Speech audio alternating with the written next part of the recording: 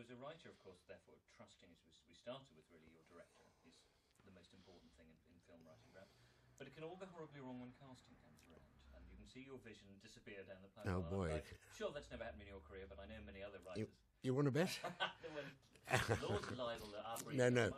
But in, in this case, I know the, the concern um, um, Roman had about finding his Szpilman was, was, was great. And, Well- tell, me about your, your concerns and what Adrien brings to that. I had an, a, a, a, a documentary image of Szpilman from the photographs and so on. Um, Roman phoned me and asked me to go and see a film with Adrien Brody. And I, I can't remember the name of the film, but he was very, very good in it. And I phoned him back and said I thought he was terrific. He said, You know, he plays the piano. And I said, Well, that sounds good. There were other names, of course, there were other people in the frame. But I think what tilted it was this extraordinary face that Brody has. It's what I hope Adrien won't mind, but sort of ugly attractive.